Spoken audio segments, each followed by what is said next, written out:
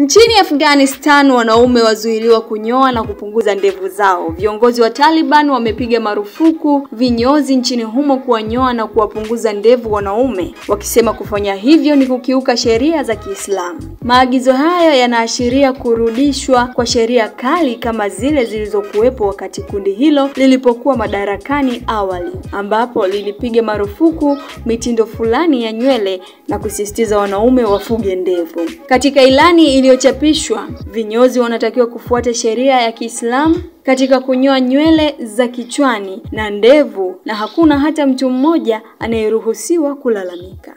Endelea kutazama Spin Tanzania, bonyeza hayo maandishi mekundu yaliyoandikwa subscribe na kengele ili kupata taarifa zaidi.